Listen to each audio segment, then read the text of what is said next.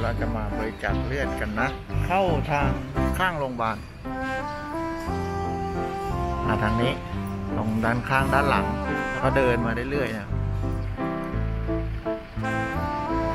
เดินมาทุกคนดูนะครับ จะมีทางขึ้นตรงนี้นะ ขึ้นมา ก็เดินไปตามทางเลยนะครับถ้าไปทางซ้ายจะเป็นโรงอาหารอ่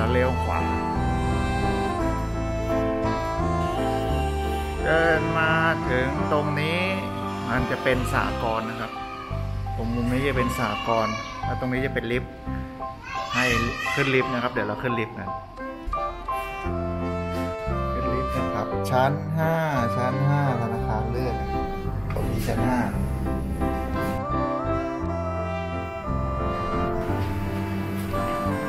อันนี้เราก็มาถึงแล้วครับสนามเครื่อ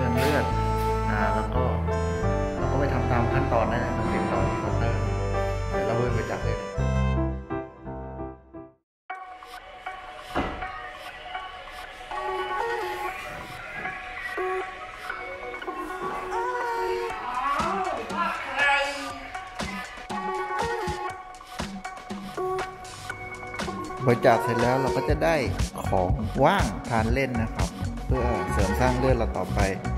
ก็จะมีนมช็อกโกแลต แล้วก็พวกยูโรเค้กยาบำรุงเลือด แล้วก็เทนสปาร์ตแปะแผลนะครับไปกลับบ้านดีกว่าวันนี้เป็นยังไงบ้างการมาบริจาคเลือดก็ไม่ได้ยากนะครับ มาก็ง่ายขั้นตอนก็ไวแถมได้ขนมกินฟรี